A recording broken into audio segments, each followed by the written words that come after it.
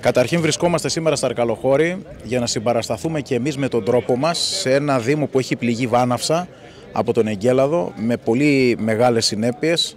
Ε, όμως εκείνο που θέλω να μεταφέρω είναι ότι και ο δικός μας ο Δήμος, ο Δήμος Χερσονήσου έχει σημαντικά, πολύ σημαντικά θέματα.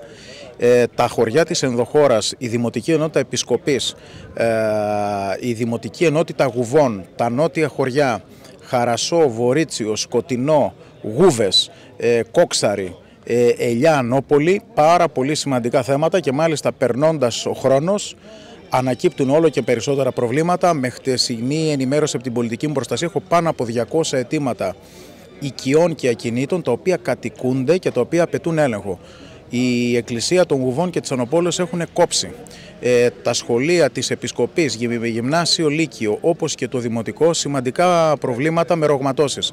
Εκείνο λοιπόν το οποίο ζητούμε από την πολιτεία είναι να αποστείλει ακόμα περισσότερους μηχανικούς, να γίνουν άμεσα οι αυτοψίες, γιατί οι κάτοικοι μένουν μέσα στα σπίτια τους, δεν έχουν ακόμα τη γνώση από μηχανικούς τι πρέπει να κάνουν με μεγάλη επικινδυνότητα, ενώ προβλέπεται τη Δευτέρα τα παιδιά μας να μπουν στα σχολεία. Πρέπει να έχουμε άμεσα γνώση για το τι πρέπει να κάνουμε.